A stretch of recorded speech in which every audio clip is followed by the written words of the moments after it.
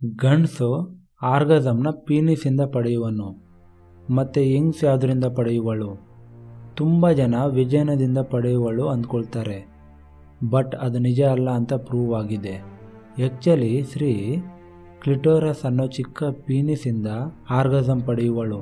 ಸ್ತ್ರೀಯಲ್ಲಿರುವ ಆ clitoris penis ಥರನೇ ಇರುತ್ತೆ.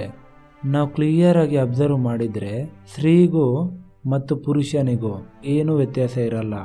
ಸ್ತ್ರೀಗೆ ಬ್ರೆಸ್ಟ್ ಇರುತ್ತೆ ಬಟ್ ಪುರುಷನಿಗೆ ಅವು ಗುರುತುಗಳಾಗಿ ಇರುತ್ತೆ. ಸ್ತ್ರೀಯಲ್ಲಿರುವ ಕ್ಲಿಟೋರಸ್ ಸ್ವಲ್ಪ ಉದ್ದ ಆಗಿ ಪುರುಷರಲ್ಲಿ ಪೀನಿಸ್ ಆಗಿ ತಯಾರಾಗಿದೆ. ಸೊ ಈ ವಿಷಯ ತಿಳ್ಕೊಳ್ದೆ ಗಂಡಸು ಸಾವಿರಾರು ವರ್ಷಗಳಿಂದ ಸೆಕ್ಸ್ ಮಾಡ್ತಾನೆ ಇದ್ದಾನೆ.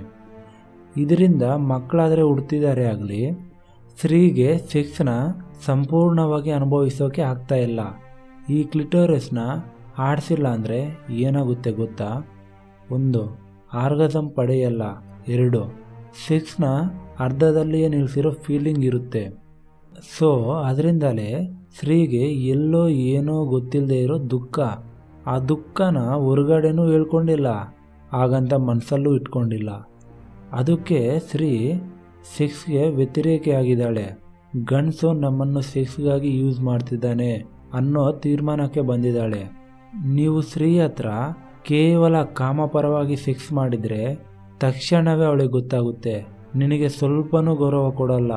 ಯಾಕಂದರೆ ನೀನು ಅವಳನ್ನ ಶಾರೀರಿಕವಾಗಿ ಮಾತ್ರ ಯೂಸ್ ಮಾಡ್ತಿದೀಯಾ ಅನ್ನೋ ವಿಷಯ ಗ್ರಹಿಸುವಳು. ಶ್ರೀ ಈ ಪ್ರಪಂಚದಲ್ಲಿ ಏನನ್ನಾದರೂ ಕ್ಷಮಿಸುವಳು ಆಗಲಿ ಯೂಸ್ ಮಾಡಿಕೊಂಡು ಬಿಟ್ಟಾಕೋದು ಮಾತ್ರ ಸತ್ರು ಕ್ಷಮಿಸಲ್ಲ. ಇಲ್ಲಿ ಯಾರಿಗೂ ಮೋಸ ಹೋಗೋದು ಅಂದರೆ ಇಷ್ಟ ಆಗಲ್ಲ.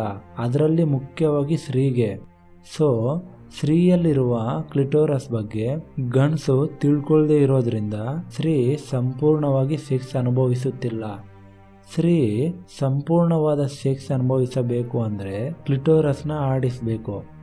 ಕ್ಲಿಟೋರಸ್ನ ಆಡಿಸಬೇಕು ಅಂದರೆ ಸ್ತ್ರೀ ಮೇಲೆ ಗಂಡಸಿಗೆ ಪ್ರೀತಿ ಇರಬೇಕು. ಯಾಕಂದರೆ ಕ್ಲಿಟೋರಸ್ ಅನ್ನೋದು ವಿಜಯನ ಮೇಲೆ ಇರುತ್ತೆ.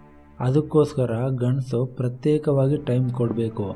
ಯಾಕಂದರೆ ಅದರಿಂದಲೇ ಸ್ತ್ರೀ ಮಲ್ಟಿಪಲ್ ಆರ್ಗಸಮ್ ಪಡೆಯುವಳು.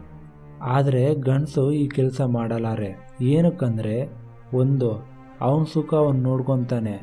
ಎರಡು, ಕ್ಲಿಟೋರಸ್ನ ಮಾತ್ರ ಅಲ್ಲಾಡಿಸಿದರೆ ಗಂಡಸು ಸ್ತ್ರೀನ ಸೆಕ್ಶುವಲ್ ಆಗಿ ಸ್ಯಾಟಿಸ್ಫೈ ಮಾಡೋಕೆ ಆಗಲ್ಲ. ಈಗ ನಿನಗೆ ಗೊತ್ತಾಗಿರುತ್ತೆ ಯಾವ ರೀತಿ ಸೆಕ್ಸ್ ಮಾಡಬೇಕು. ಇಲ್ಲಿ ನಿಮಗೊಂದು ಟಿಪ್ ಕೊಡೋಕೆ ಇಷ್ಟಪಡ್ತೇನೆ. ಸ್ತ್ರೀ ಶರೀರ ಅನ್ನೋದು ಅನೇಕ ರೀತಿಯ ಮ್ಯೂಸಿಕ್ ಇನ್ಸ್ಟ್ರೂಮೆಂಟ್ ತರಹದ್ದು. ಯಾವ ಇನ್ಸ್ಟ್ರೂಮೆಂಟ್ ಹೇಗೆ ಉಪಯೋಗಿಸಬೇಕೋ ಗೊತ್ತಿರೋರು ಮಾತ್ರ ಹಿಂಪಾದ ಸಂಗೀತ ಸಿಗುತ್ತೆ.